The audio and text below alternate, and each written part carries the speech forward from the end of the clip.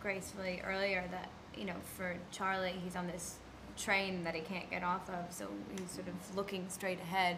I think Abby's had a little bit more time to um, look outward and inward at the same time and ask questions about uh, what they're doing and where they are and why they're here. Um, it, it's certainly a roller coaster, as you might expect in season two. Yeah, and I think we're still a couple of se- seasons away from actually being able to properly heal from the experiences that these characters go through. I think they're too busy making this thing. They have a deadline that needs to be satisfied. And uh, I, I think only after this thing drops on Japan, only years after that will we actually get to see if any of the characters can overcome their actions during this time. if I I actually think that this show is different from a lot of other shows in that sexuality isn't the only way that women find power.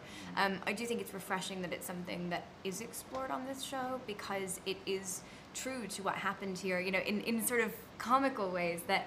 Um, but it's not just the women; it's the men and the women um, engaged in quite a lot of sexual Yeah. activities because and I can't even think of a moment where sexuality was used in Helen in, used in power. But but I think like like the way women are treated most of the time in this period is that it's the men that actually treat them a certain way that actually puts them in a box. I think Helen uses hers a little bit, certainly, um, and Abby has used Right, that with okay. you at the beginning of season uh, Season one, two. Right. Um, yeah, but but also uh, the yeah, there's just there's an undertone. There's something about the sexuality of life on the hill that was different during this time because um, because nobody was talking, and uh, this. Uh, I think the numbers are something like this hill was built to hold 500 people and ended up housing 5,000. A lot of which was to do with the fact that there were a lot of babies born at Los Alamos. Yeah. Um, there's something about a disconnect between people that can sometimes lead to a physical connection that doesn't have to be an emotional one.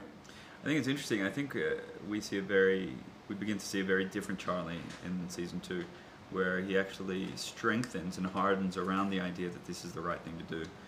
Um, uh, things like morality or, even paranoia slip from his mind somewhat, um, while he just pursues righteousness in his mind to the very end.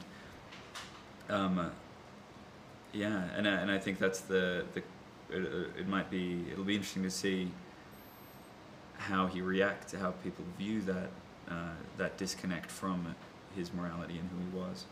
in some ways, although we have a terrific fan base, very devoted.